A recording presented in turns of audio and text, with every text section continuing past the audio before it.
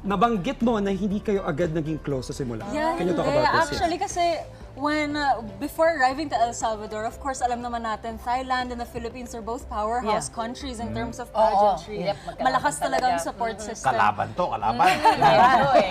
Nagtitinginan left and right. Pero yes, hindi kami naging close kagad. Kasi when we arrived at the mo. first week,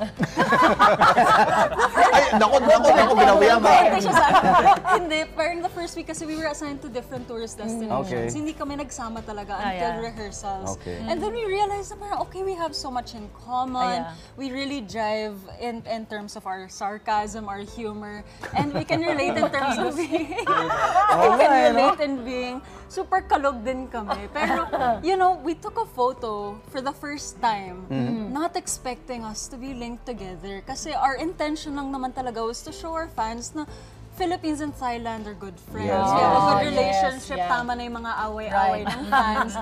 But, you know, when we when we became close, medyo naging inseparable na talaga kami. Kasi, you know, that's how that's how good the chemistry So, was maintain talaga. ang friendship. Maintain. Yes, Oh, maintain. Ano ba? She'll visit you ba Abangan nyo. dito? Ha? Bibisita siya dito? You invited her, right? Um, yes, we both gave invitations to each other Oh, naman, and we've both been extended from our own national directors also Right. to, to visit Thailand and she'll visit the Philippines. Wow. May, nung pauwi kaming dalawa to our respective countries, may mga Yeah. balita kaming natanggap, so sana matuloy. Yun talaga maganda sa ganyan eh, yung new Yes. friendship no, na nabubuo. Okay, Michelle, very iconic ang naging looks mo, sabi ko nga sa'yo. Yes. At may mga nag-trending. Gumaya pa nga. Tingnan na natin, ito. Ang bibilis ah. Oo. Yeah. Tingnan natin. Let's see. Yun. Ayun. Ayan, na-inspired ka niyan. Inspired gown. Hindi siya yan, pero na-inspired niya yan. Ah, okay, okay.